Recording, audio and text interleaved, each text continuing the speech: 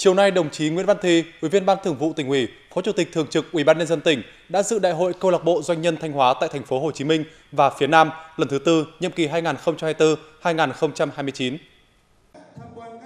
Hiện nay, câu lạc bộ doanh nhân Thanh Hóa tại thành phố Hồ Chí Minh và phía Nam có 236 thành viên, nhiệm kỳ 2019-2024. Trong bối cảnh gặp nhiều khó khăn dịch bệnh COVID-19 và suy thoái kinh tế thế giới, câu lạc bộ đã có nhiều hoạt động thiết thực, hiệu quả, kết nối các thành viên để cùng nhau hợp tác, chia sẻ, hỗ trợ nhau trong sản xuất kinh doanh. Bên cạnh đó, câu lạc bộ đã chủ động phối hợp với tỉnh Thanh Hóa tổ chức các sự kiện xúc tiến đầu tư tại thành phố Hồ Chí Minh và các tỉnh phía Nam, đồng thời tích cực tham gia các hoạt động vì cộng đồng.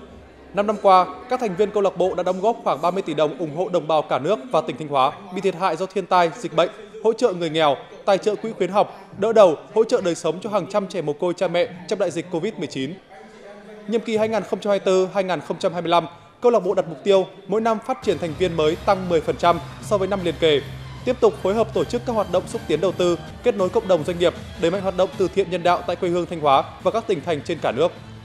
Phát biểu tại đại hội, Phó Chủ tịch Thường trực Ủy ban nhân dân tỉnh Nguyễn Văn Thi chúc mừng những thành tích, kết quả mà câu lạc bộ doanh nhân Thanh Hóa tại thành phố Hồ Chí Minh và phía Nam đạt được trong nhiệm kỳ vừa qua, đồng thời đánh giá cao và trân trọng cảm ơn những đóng góp của câu lạc bộ đối với sự phát triển của tỉnh.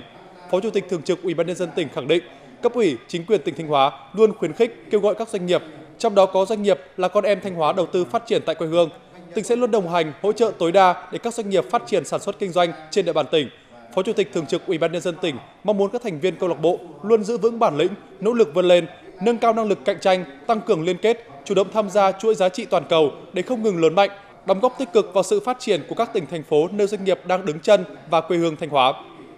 Nhân dịp này, Phó Chủ tịch Thường trực Ủy ban nhân dân tỉnh Nguyễn Văn Thi đã trao tặng bằng khen của Ủy ban nhân dân tỉnh, Ủy ban Mặt trận Tổ quốc tỉnh tặng bằng khen cho các tập thể và cá nhân thuộc câu lạc bộ đã có thành tích nổi bật trong hoạt động sản xuất kinh doanh và công tác an sinh xã hội giai đoạn 2019-2024.